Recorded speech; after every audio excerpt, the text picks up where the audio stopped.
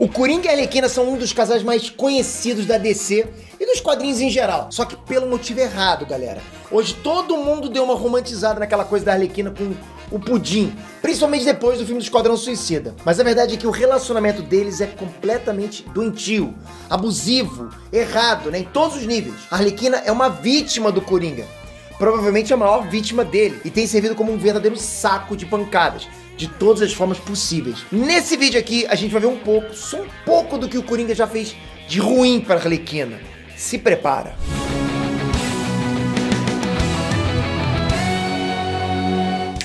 Trunks, Peter aqui. A Arlequina acabou virando um símbolo para muita gente, mas tem uma galera que dá uma distorcida, que acha muito fofinho, muito bonitinho ela chamando o Coringa de pudinzinho, meu pudim, né? Aceitando ele mesmo ele sendo um psicopata assassino completamente insano. Mas é óbvio que isso é muito errado. Lógico, o Coringa abusou da Arlequina de todas as formas possíveis, cara física, psicologicamente, tudo. Tanto que nos quadrinhos esse relacionamento já não existe mais.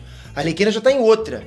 E logo a gente vai ver isso no filme da Aves de Rapina, onde já deu pra ver, né, pelos trailers, que ela deu aquele famoso pé na bunda do palhaço. Ainda bem, né, porque ela sofreu muito, muito mesmo, como a gente vai ver agora. Vem comigo! A constelação. O primeiro item da lista pode parecer bonitinho de primeira, mas se a gente parar para analisar, dá pra ver que é uma crueldade. Aconteceu numa história chamada Imperador Coringa, onde ele consegue 99% dos poderes do Mr. Mxpitlick, que eu já falei aqui nesse canal, contei a história completa, ou seja, ele fica quase onipotente. Aí o Coringa cria um mundo do jeito que ele quiser. Troca o Superman pelo bizarro, fica matando e ressuscitando o Batman só por diversão e depois destrói tudo. E nesse Armagedon, ele mata a Arlequina e como recompensa pelo serviço dela, transforma ela numa constelação. Assim ela pode assistir o fim do mundo do melhor lugar de todos. Fofo, né? Não, não é. O filho. E não é só abuso físico. Nos quadrinhos do Injustice, que seguem até a história do game, a gente tem a morte do Coringa pelas mãos do Superman, quando ele começa a enlouquecer. E é claro que a Arlequina fica muito mal quando ele morre. Mas ela também revela alguns detalhes bem macabros e até bem tristes da relação deles dois. Tem um momento dessa história onde ela conta para Canário Negro que ela engravidou do Coringa uma vez. E sabendo que ele ia ser provavelmente o pior pai do mundo, ela foi embora por um ano para a criança poder nascer em paz. Um ano depois, ela retornou e o Coringa nem tinha percebido que ela tinha saído. Um ano, galera. Sabendo quanto ela gosta dele, é triste mais pensar nisso. A janela. Essa aconteceu na série animada do Batman, né, que foi a primeira aparição da Arlequina. Ela apareceu primeiro na animação e depois nos quadrinhos. No episódio, ela decide matar o Batman como forma de presente pro pudinzinho dela. Então ela cria uma armadilha totalmente insana, com o Batman pendurado em cima de um tanque cheio de piranhas. Cara, uma loucura, coisa de louco. Só que o Coringa não achou isso nada legal. Afinal, né, só ele poderia matar o Batman. E naquele acesso de fúria, ele bate na Arlequina com peixe-espada que ela estava usando para se defender e derruba ela de uma janela bem alta. Ela acabou caindo num monte de lixo. Deu aquela amortecida na queda, mas mesmo assim ela ficou muito machucada. E pô, por mais que seja uma coisa doentia de matar o Batman e tal, ela tava querendo agradar ele. Tadinha, né?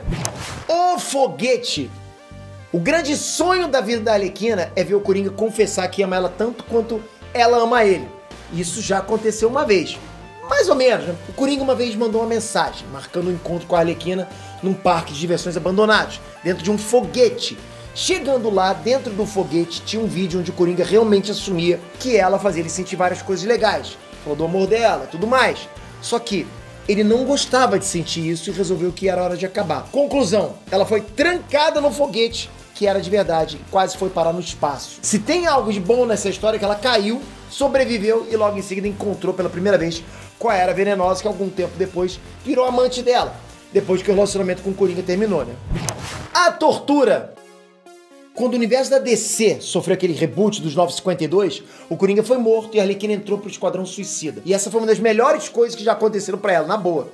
Ali ela realmente né, se livrou da dependência do Coringa, fez amigos, principalmente o pistoleiro, ficou bem próximo dela. Mas é claro que o Coringa acabou voltando.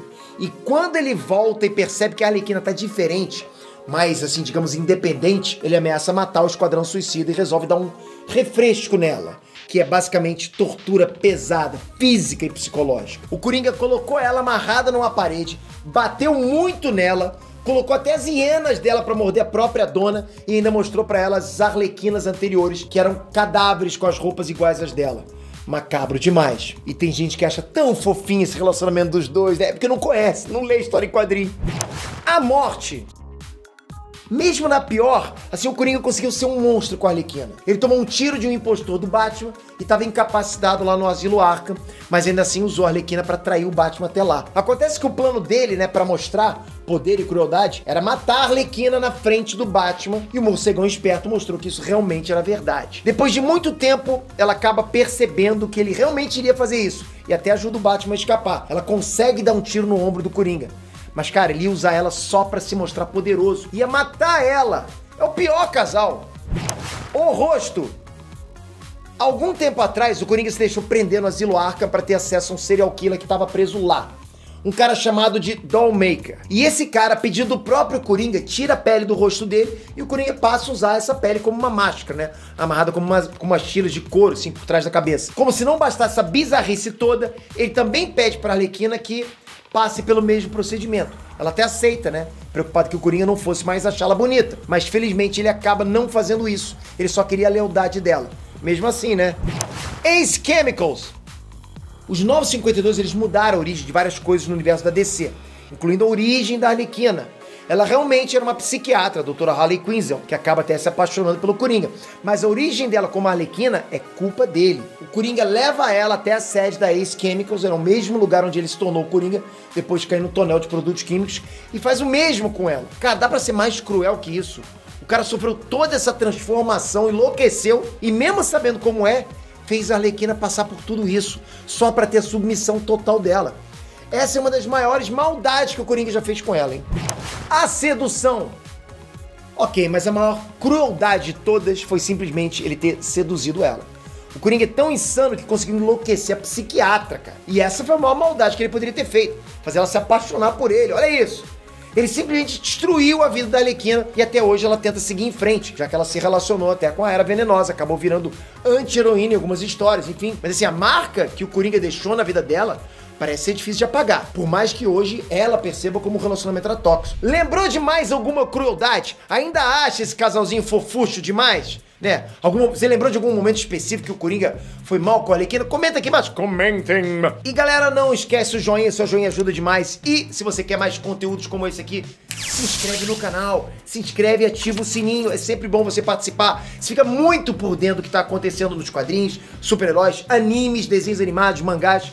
Fica com a gente, ativa o sininho, porque só assim você recebe a notificação do próximo vídeo. Até a próxima, galera. Obrigado. Fui!